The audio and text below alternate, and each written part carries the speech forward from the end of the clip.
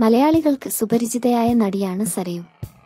നിരവധി സിനിമകളിൽ നായികയായും സഹനടിയായുമെല്ലാം സരയു അഭിനയിച്ചിട്ടുണ്ട്.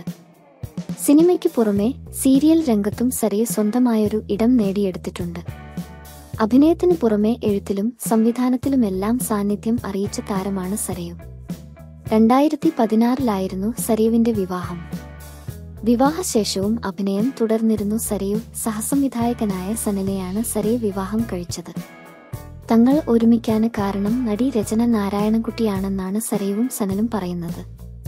മൈൽ സ്റ്റോണ് മേക്കേഴ്സിന് നൽകിയ അഭിമുഖത്തിലാണ് ഇരുവരും മനസ്സ് തുറന്നത്.